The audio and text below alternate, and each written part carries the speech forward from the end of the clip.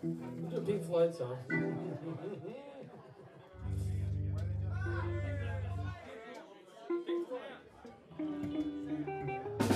All right, I'm gonna kick it off. So. Everybody just do the hits, and